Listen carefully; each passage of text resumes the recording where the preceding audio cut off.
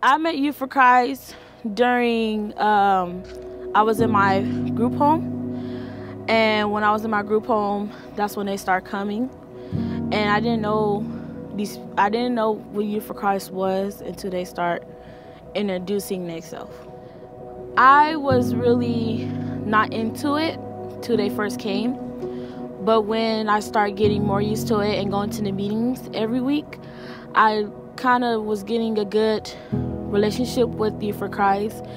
They asked me what my name was, my age, and that's when I was getting a really good connection. They was talking to me, and I really loved it how they was seeing how I was feeling about a lot of things.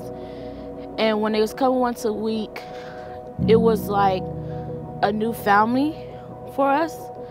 And when like we was getting more and more uh, learning about God and praying every time they come, it just bring like a whole spirit to the table. Like we eat, we enjoy ourselves, we talk, we pray, we read the Bible, and they was bringing us gifts, Bibles, all kinds of stuff, and I really loved it. Any holiday, they would come and celebrate it with us, and I really was joyful. Like I loved it. dick. Like it felt so different for Youth for Christ. Like I felt like I had a new family and a connection, even though we was going through a lot. Youth for Christ was still there for you. And definitely for Christmas, Christmas was my best one because when Christmas came by, I asked for a certain present I've been wanting for years. And once Youth for Christ brought that, I just split out into tears because it was like really special to me, and I really thank you for Youth for Christ for that. And once Geneva started talking about a church for me to go to, once I went to that church, it was so amazing.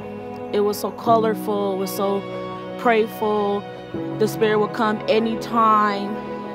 They would pray for you anytime. And I loved it when Youth for Christ was coming to help us and see how we really feel inside.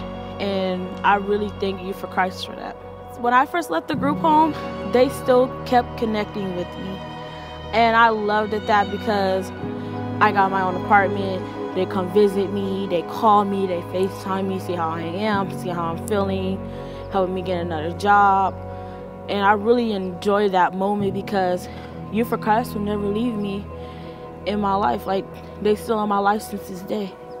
That felt like a sister and a brother to me. Like that was like basically this how family supposed to be. And please just listen to Free Youth for Christ. To join, enjoy it because they will change your life.